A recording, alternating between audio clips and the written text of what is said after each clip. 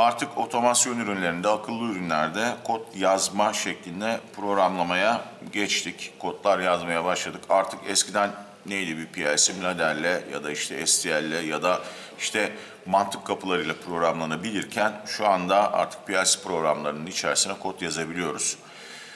Bir operatör panel programlıyorsunuz, script yazmanız gerekiyor. Bir SCADA yazılımı yapıyorsunuz, script yazmanız gerekiyor içerisine. Yani yavaş yavaş programlama, komut e, satırlarıyla programlama şeklinde akıllı cihazları, otomasyon ürünlerini programlamaya başladık. C öğrenmek için Arduino'ya başlamıştım ben. Hatta öğrendiklerimi ders notu şeklinde çıkarttım. Onu da kumanda.org'da yayınlamıştım detaylı olarak. Orada o kodları nasıl kullandım, niye kullandığımı açıklamıştım. O dönem aklıma şu gelmişti yani 6-7 yıl olmuştur. Bu niye bir kompakt yapıda klemensleri çıkarılıp kutulanmıyor? Çünkü Arduino'da bizim en büyük sıkıntımız şu pinlerle bağlantı yapıyorsunuz. Pinler çok fazla güvenli değil. 5 volt kullanıyorsunuz.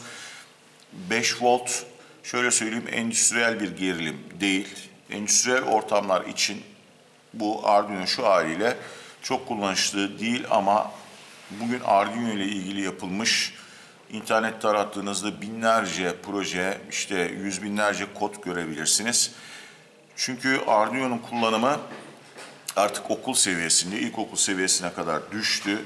Çocuklar kod yazmaya başladı. Bir arkadaş vardı, elektronik cihaz üreticisi bir e, şirketin Marmara bölge sorumlusuydu. Arkadaşa dedim ki ya Arduino'yu niye kutulamıyorsunuz? Arduino'da bağlantı ile ilgili çok fazla sıkıntı yaşıyoruz. Güvenli, klemenslere çıkarılmış bir bağlantı ne yapabilirsiniz? Yapabilirsiniz. Çünkü şunu dedim yani bundan 3-5 yıl sonra Arduino programlayanların sayısı ya da kod yazanların sayısı PLC programlayanların sayısından çok daha fazla olacak. Çünkü çok fazla Arduino kullanılmaya başladı. O zamanlar ciddiye almamıştı arkadaş. Ama bu konuda kafa yorup çalışanlar olmuş. Şu anda elimde Finder, Opta, Arduino PLC var. Ürün elime birkaç gün önce geçti. Biraz ürünü kurcaladım. Bu tanıtım videosu bundan sonra da bunun programlamasına yönelik birkaç tane daha video yayınlayacağım kanalda. Şimdi şöyle söyleyeyim. Arduino Opta besleme gerilimi 24 volt DC. Üzerine 8 tane input koymuşlar. Bu inputlar dijital olarak 24 volt ya da bu inputları siz 0-10 volt arasında analog olarak kullanabiliyorsunuz. Aşağıda 4 tane çıkışım var. Bu çıkışlar kuru kontak veriyor, röle kontağı veriyor. Bunun haricinde ne var? Şurada 4 tane durum ledi var. Burada 3 renkli led var. Bir tane dahili input var. Şimdi dikkatimi çeken şu oldu. Girişlerde ve çıkışlarda enerji olup olmadığını gösteren bir led yok. Yani her Clemens'te giriş ve çıkışlarda ledler yok. Enerji var mı yok mu onu göstermiyor. Ama onun yerine buraya 4 tane led koymuşlar.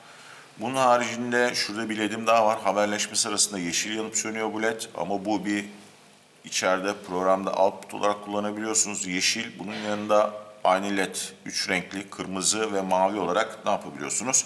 Çalıştırabiliyorsunuz. Bu ledleri nasıl kullanabilirsiniz? Bu aslında tamamen sizin hayal gücünüze kalmış.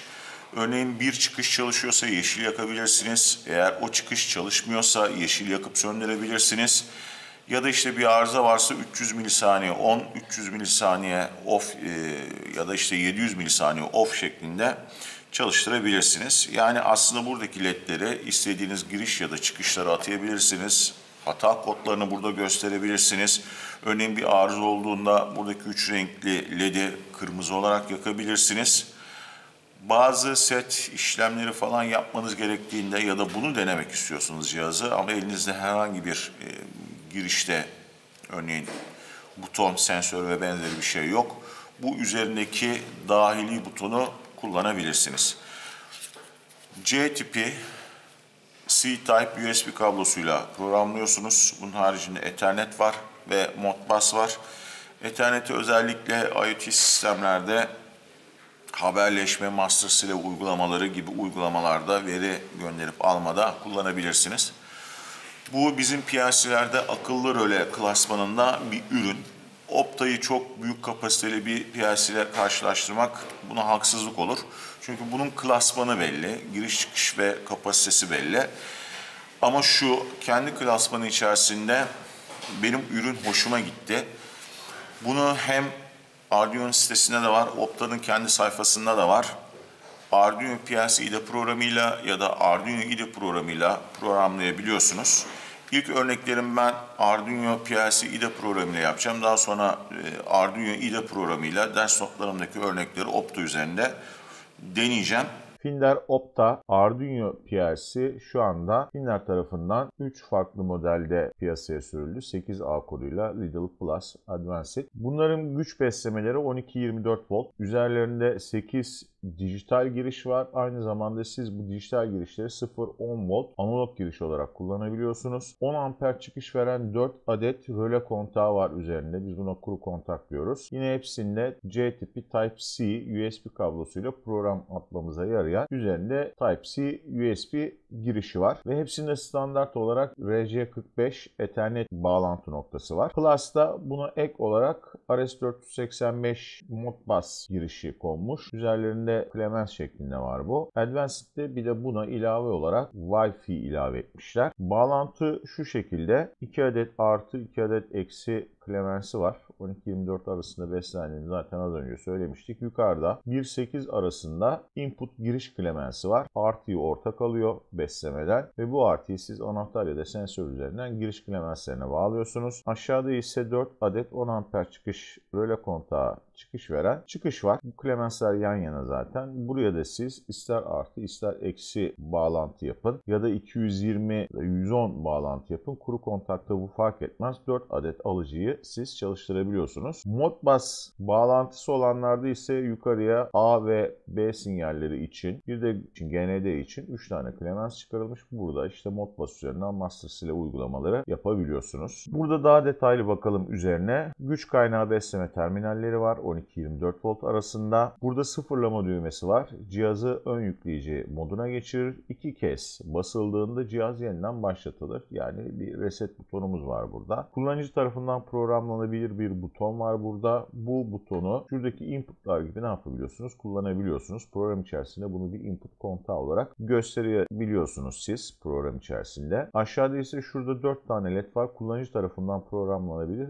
durum ledleri. Bu ledleri de yine program içerisinde siz bir bobin gibi, bir kış gibi kullanabiliyorsunuz. Böyle terminalleri 4 adet var burada. Normalde açık kuru kontak veriyor. Öyle kontak 10 amper ve 250 volta kadar siz bu kontaklardan akım geçirebilirsiniz. Yukarıda 1'den 8'e kadar dijital girişler var. Yine bu dijital girişleri 0-10 volt arasında analog giriş olarak da kullanabiliyorsunuz. Üzerinde demin de bahsettiğim gibi Modbus için RS485 için bir Clemens yapısı var. A eksi GND B artı. Burada Ethernet bağlantı noktası durum ledleri var. Ethernet'ten bir bağlantı yapıldığında bu durum ledleri yanıyor ve bir adet de topraklama klemensi var. Alttan baktığınızda cihaza burada Type-C programlama ve veri kaydı için bir adet USB girişi var. Ethernet bağlantı noktasını görüyorsunuz. Yandan baktığınızda da şurada AUX yazan kapağı kırdığınızda yardımcı modüllerin iletişim ve bağlantı için bir port çıkıyor. Yine buradaki DIN35 rayda yanına modül ilave edip o pinleri buraya ne yapabiliyorsunuz? Takabiliyorsunuz. Pinler Arduino PLC'yi iki programla programlayabiliyorsunuz. Sitesinden indirip bunları kurabiliyorsunuz. Opta'nın kendi sitesinden de indirebilirsiniz. Arduino'nun kendi sitesinden de indirebilirsiniz. Arduino PLC'de program var. Bununla programlayabilirsiniz. İlk örnekleri ben bununla yapacağım. Yine bizim normal Arduino'da kullandığımız Arduino IDE programı vardı. Onunla da siz Opta'yı programlayabilirsiniz. Bu videoda Finder Opta Arduino PLC'ye kısa bir giriş yaptık. Bundan sonraki videolarımda Opta'nın